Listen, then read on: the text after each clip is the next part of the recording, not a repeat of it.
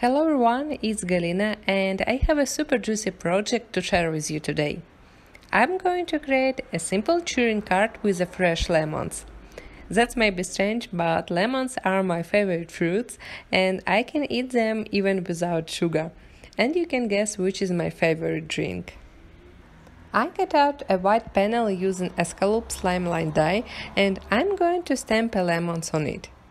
For stamping, I'm using a black Memento ink with my stamping tool to get a nice crisp image. I stamped lemons in the center of my panel and I'm going to color them with a Copic markers. On the biggest lemon, I'm going to make some shading using bright yellow and orange markers. I started with the middle shade and I blended with a light yellow color. For the deepest shades, I'm using the light orange color Y34.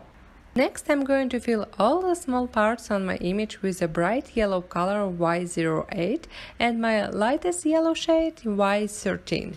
I try to color all the parts one by one. At one time, I color all the elements of the same color. That saved me a lot of time. To color the leaves, I found in my stash the brightest shades of the green color markers and I'm making a simple blending from the lightest color YG01 and my darkest color YG09. After my coloring is done, I need to create a mask to protect colored image before my next step. I'm stamping the lemons on a piece of masking paper. When you're creating a mask, it doesn't matter how well you stamp the image. In general, only stamped contours are needed. Next I'm going to fussy cut the stamped lemons with a thin border outside the image. And now I'm covering the stamped image on the panel with my mask and I can jump into the ink blending technique. I start with applying a light blue color around the lemons. I'm going to create a focal point in the center, so I'm adding a light color there. For the blending technique, I'm using my ink blender brushes from Studio Katia and they work perfectly with any kind of inks.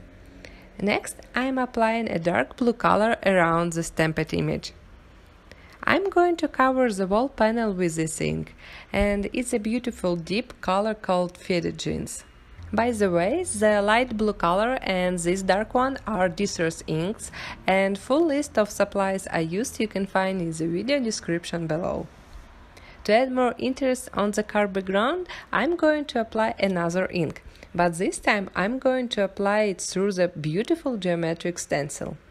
And I'm using another type of ink, Distress Oxide ink. If you don't have oxide ink, simply use a darker color of any ink you may have. I'm applying ink through the stencil on two corners of the card panel and I'm overlapping the stencil a bit on the stamped image. After that, I can remove the mask. If you will use a low stick paper, it will not damage the colored image. And I have some big white spots between the lemons and I decided to fill them with a dark blue marker. So I simply color tiny dots on the stamped image. To create a sentiment, I'm going to use an alphabet dice and a stamp from Citrus Trimmings.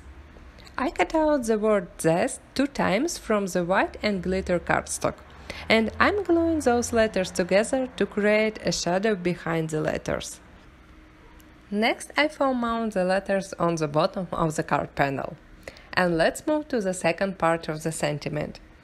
I'm going to heat emboss a part of the sentiment stamp, that's why I'm masking the bottom of the stamp with the masking tape.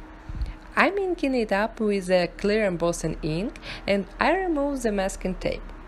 I stamp the sentiment on the right top corner of my card panel. I'm covering it up with detailed white embossing powder and I will heat emboss it with my heat gun. Also, I cut out uh, one more slimline panel from a bright yellow cardstock and I'm adhering the small panel on it using a large foam tape from Studio Katia. To embellish my card, I picked yellow and green crystals. I combined different sizes of crystals on my card and I'm attaching them using strong liquid glue. Then I'll attach the panel on the white card base. And here is my finished card full of juicy lemons and bright colors. Thanks so much for spending time with me.